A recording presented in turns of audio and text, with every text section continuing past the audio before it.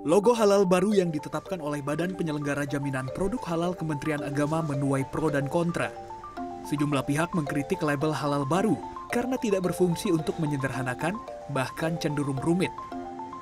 Anggota DPR Fadlizon mengkritik logo halal baru yang ditetapkan oleh Badan Penyelenggara Jaminan Produk Halal Kementerian Agama.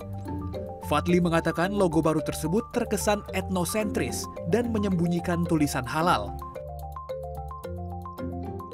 Sementara anggota Komisi 8 DPR RI fraksi PKS Bukhori mengkritik label halal baru seharusnya berfungsi untuk menyederhanakan yang rumit, bukan sebaliknya. Bukhori meminta Kemenak agar meninjau ulang logo halal yang baru, pasalnya label halal sangat berkaitan dengan kehidupan banyak orang, mulai dari makanan hingga minuman. Pendakwa sekaligus Wakil Ketua Umum Majelis Ulama Indonesia MUI Anwar Abbas secara pribadi mengkritik label halal baru yang dikeluarkan oleh Kementerian Agama karena lebih mengedepankan artistik dan budaya lokal tertentu ketimbang menonjolkan kata halal dalam bahasa Arab. Penetapan logo halal tersebut pun menimbulkan beragam tanggapan dari masyarakat. Untuk logo yang baru untuk halal itu menurut pandangan saya simpel sih. Kalau untuk kebaca sih gampang itu. Untuk yang baru ya, desain baru. Kita melihat eh, itu kan halal ini pencerminan dari Islam ya. Eh, di situ nuansanya terlalu apa ya? agak kalau orang awam mungkin agak bias gitu istilahnya.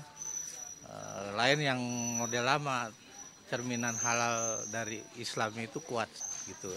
Kalau mungkin istilahnya karena ada logo-logo berbau menyesuaikan milenial kali ya.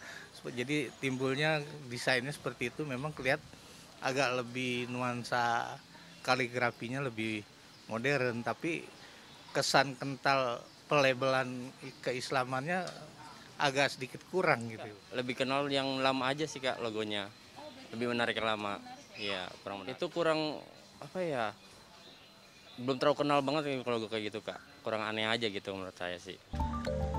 Sebelumnya dalam keterangan tertulis dalam situs Kementerian Agama, label halal baru telah ditetapkan pada 10 Februari 2022 serta telah ditandatangani pihak penetapan label halal yang berlaku sejak 1 Maret 2022.